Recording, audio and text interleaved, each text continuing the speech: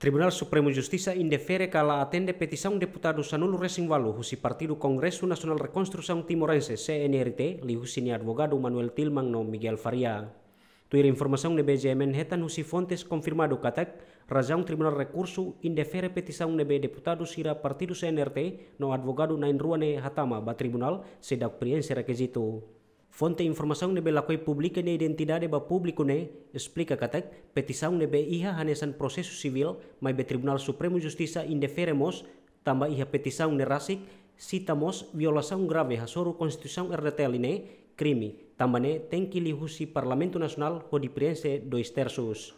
Fontes kredibel ne hate tentan petição ne parte mandatário sira se hadia fila fali prazo lorong sanulu ho dia apresenta fali ba Tribunal Recurso. Enquanto informação ne BGMN heta no si oficial balung iha tribunal recurso hate tengkatek, petição ne notifica diretamente ba mandatário iha lorong sanulu resingida fulan mayune, mais ou menos tuku tolu lorokraik.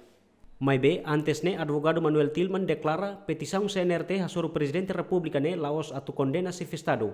Mai be husu tribunal recurso atu aprecia no halo fiscalização abstrata, tamba considera presidente República viola na Constituição RTLI. Juiz coletiva nebe caer proceso ne macanesan atual presidente do Tribunal Recurso Deolino dos Santos, juíza Mariana Tercia, no juíza Jacinta Correa da Costa Carinho dos Santos, GMN.